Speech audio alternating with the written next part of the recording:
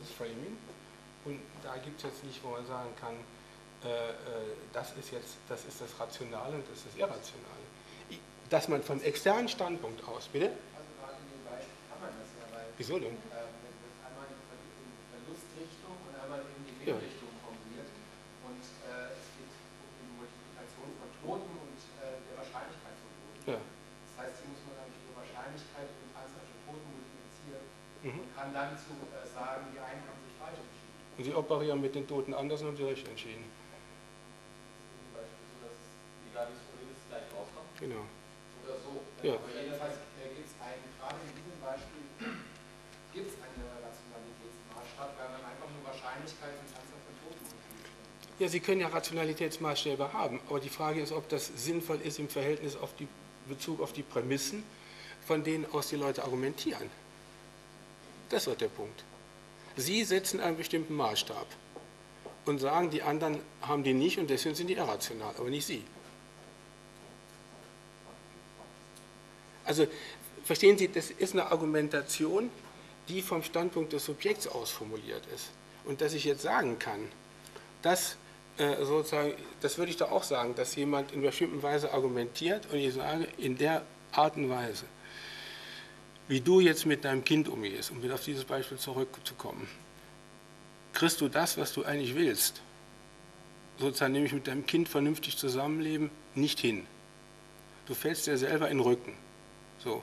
Das heißt, ich muss die Prämissenlage ändern und analysieren, dass die Leute für sich, für sich eine andere Geschichte als vernünftig realisieren können.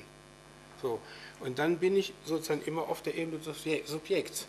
Äh, und äh, ich muss aber quasi an den Widersprüchen, an den Widersprüchen dieser Art und Weise, wie die Leute existieren, für sie nachvollziehbar ausfindig machen, dass sie dann auch diesen Momenten folgen können. Die Beispiele, die Sie nennen, also ich finde, dass dieses Beispiel mit diesen äh, sozusagen Toten nicht so richtig sich eignet, sondern diese ganzen anderen, klar, Verfüg Verfügbarkeitsheuristiken, das Dilemma geben, das sind ja alles diese Sachen. Da gibt es ein sozusagen externes Kalkül und dann ist die Frage, ob die Leute dieses Kalkül realisieren oder nicht oder was man jedenfalls so, aber im Prinzip funktioniert die ganze Sache so, dass wenn Sie so eine Konstellation schaffen, würde ich, ist, die, ist es so, dass das Framing heißt, wenn man dieses Framing übernimmt, handelt man vernünftigerweise so, wie die Leute das dann auch in der Mehrzahl tun. Da ist wieder im Prinzip dieses Moment der subjektiven Vernünftigkeit drin. Das sind keine Bedingungsereignisrelationen, sondern sie konstruieren bestimmte Prämissenlagen, die die Leute übernehmen oder nicht. Das heißt, wir sind erstmal schon mal nicht im nomothetischen Diskurs, sondern im verdeckten Begründungsdiskurs. Und das Zweite ist, das sind Anlagen, in denen Sie aufgrund bestimmter Auffassungen sagen, das ist rational und das andere ist irrational. Das können Sie auch gerne tun. Nur zur Analyse dessen, was die Leute tun, trägt das nichts bei, weil es nur eine Abqualifikation ist. Sondern es ist auch die Frage, wie kommt im Einzelnen dazu? Verstehen Sie? Das sind verschiedene Diskurse. Ja. Ich kann Sie nicht verstehen. Ja.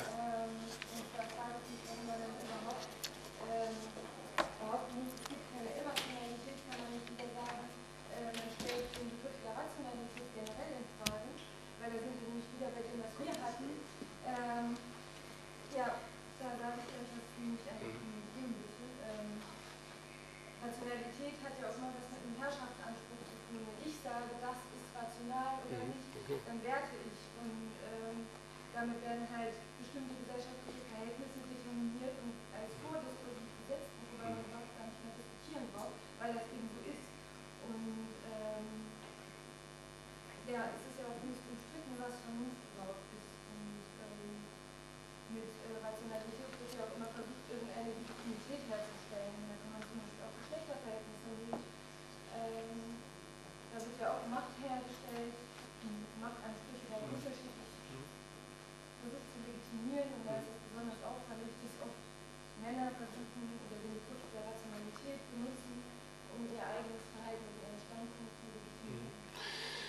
Also äh, worauf, wenn es an Sie gerichtet war, ja. Also ich kann vielleicht ein paar Beispiele nennen, für das es sich irrational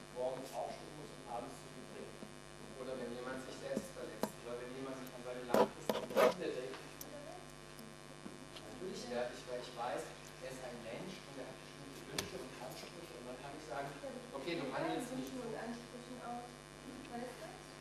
Also jemand der hat vielleicht auch äh, Lust darauf, mit Leuten abends rumzusitzen und halt Gewinn daraus zu zahlen, dass er mit denen einen trinken geht. Und dann ist es einfach nicht so wichtig, morgens dann zur Arbeit zu gehen oder was weiß ich, morgens dann fit zu sein. Ne? Oder Selbstverletzen ist auch eine Form, gesellschaftlichen Druck oder Konflikte zu bearbeiten. So. Ja, aber das ist, also man kann doch irgendwie sagen, das ist nicht gut für diese Person, dass sie sich selbst verletzt. Nee, aber da ist gut für die Person, wenn sie sich einfach unterwirft. Äh, also wenn ich nochmal. Also ich glaube, dass von einer Psychologie, wie ich sie vertrete, weiß man von der Außensicht niemals, was für andere Leute gut ist. Das ist eine kategoriale Aussage. Was für andere Leute gut ist, weiß ich nicht. Und das Problem ist, wenn man glaubt zu wissen, was für andere Leute gut ist, und man hat auch noch die Macht, das durchzusetzen, dann möchte ich da nicht leben, muss man klar zu sagen. Wenn Sie wissen, was für mich gut ist, dann, und Sie können es auch noch durchsetzen, dann gehe ich nach Hause. Ja, nee, jetzt im Ernst. Nee, nee, nee. Was? ich sage, ich weiß nicht, was für Sie im Einzelnen gut ist, Nee, aber ich weiß, schön. bestimmte Verhaltensweisen würde ich sagen, das ist vielleicht nicht gut für Sie. Finden Sie denn gut für mich, dass ich hier sieben Stunden im Zug sitze, herkomme und wieder morgen zurückfahre? Ich könnte doch in der Sache, ich könnte zum Beispiel Gitarre spielen, ich könnte ein weiteres Buch schreiben oder wie auch immer. Was ist, was ist denn der Maßstab? Wenn jemand reinkommt und sie schlägt, dann würde ich sagen, das ist nicht gut für sie. Nee, das ist schon wahr. Äh, es sei denn, ich hätte vielleicht ein anderes Verhältnis dazu. Wird.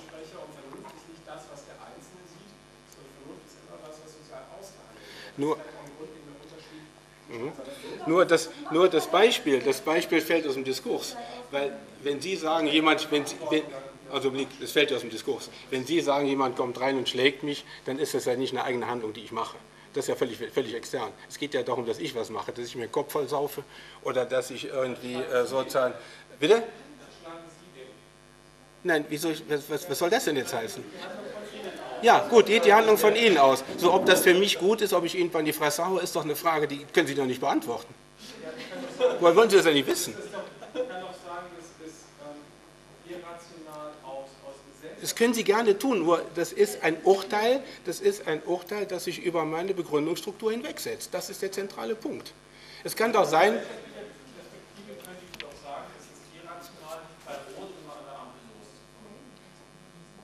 das ist ein Ex. Das, nein, die, Sie haben jetzt wieder ein externes, Sie, Sie sind jetzt als Verfechter der Verkehrsregeln. Kann ich gut verstehen. Ja. So, und ob das für den Einzelnen gut ist, ob er sich daran hält oder nicht, wissen Sie von außen nicht. Es kann zum Beispiel eine notwendige Voraussetzung sein, dass man überhaupt wieder anfangen kann zu lernen, dass man sie in der Schule so au- aufführt, dass man rausfliegt. So, und dann wird jeder normale Mensch sagen, das ist aber nicht gut, wenn du erst aus der Schule fliegst. So, und mit, Ampel. Kann auch für, einen Rettungswagen sinnvoll sein, Rot drüber zu fahren.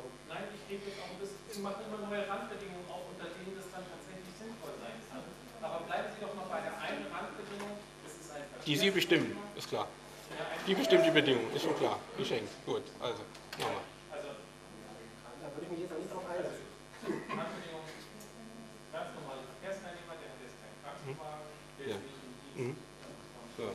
Und der fährt bewusst bei Rot über die Ampel und will bewusst einen Unfall verursachen. Nein, und der setzt für sich jetzt als neue rational individuell für sich, Sie sagen ja aus subjektiver Sicht macht es ja Mhm. rational sein, setzt er für sich um die neue Regel, ähm, aufgrund irgendwelcher Prämissen, ähm, der fährt jetzt immer bei Rot.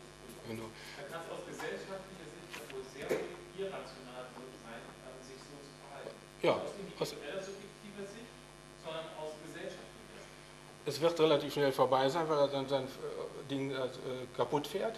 Aber die Frage ist, äh, auch in dem Falle, äh, ich würde erstmal versuchen rauszukriegen, warum macht er das eigentlich? Wenn ich jetzt einfach nur sage, das ist irrational, habe ich sozusagen, brauche ich gar nichts mehr zu analysieren, steht von vornherein fest. Ich muss gar nicht mehr fragen, warum der das macht.